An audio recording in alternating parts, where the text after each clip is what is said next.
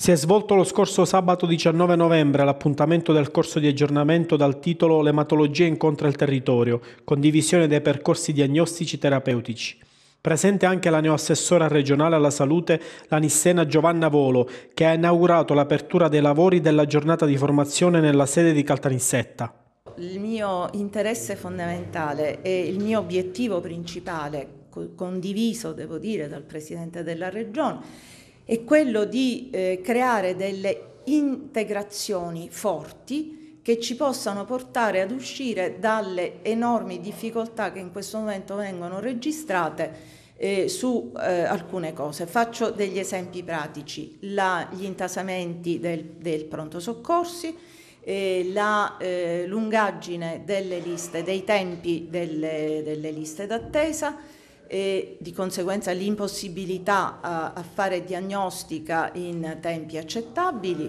eh, la eh, cura delle, eh, dei soggetti con patologie croniche perché a causa del Covid eh, è stato evidente come mh, non sia più possibile eh, fare accedere tutti in ambito ospedaliero. Il secondo appuntamento nel corso di aggiornamento inoltre ha ribadito ancora una volta l'importanza del rapporto di collaborazione fra lo specialista e il medico di medicina generale, così come racconta Maria Enza Mitra, direttore dell'unità operativa complessa di amatologia dell'ospedale Santeria di Caltanissetta. In ambito ematologico, perché questa è la nostra specialità, vuole che ci sia un rapporto diretto con i medici di base che rappresentano proprio il primo punto di riferimento per tutti i pazienti. È fondamentale che ci sia una dialettica sempre aperta, pronta eh, e che si rinnovi in base a quelle che sono le evoluzioni che la scienza, la nuova medicina di precisione e soprattutto le innovazioni terapeutiche sempre più mirate verso una terapia che è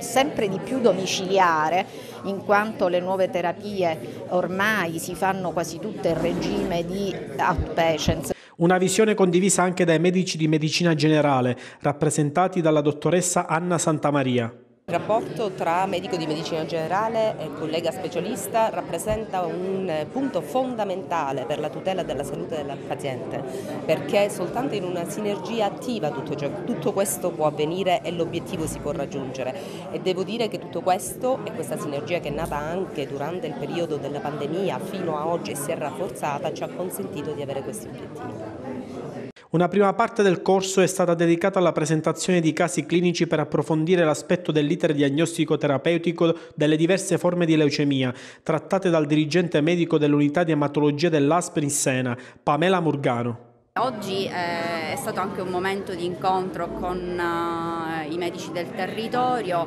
un momento in cui eh, abbiamo ricordato come eh, il Covid ci ha resi un fronte comune nell'affrontare eh, non solo la pandemia, ma a non fare fermare la diagnosi e il trattamento in ambito onchematologico. Presente anche il presidente nazionale dell'AIL Giuseppe Toro, che ha sottolineato l'importanza del volontariato. Oggi in questa importante iniziativa che si è svolta a Caltanissetta eh, sono stati affrontati i grandi passi avanti fatti dall'ematologia in questi anni. Un tempo di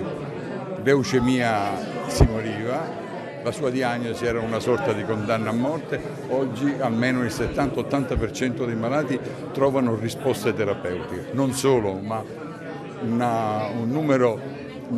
un, gran, un grande numero di malati si cronicizza, quindi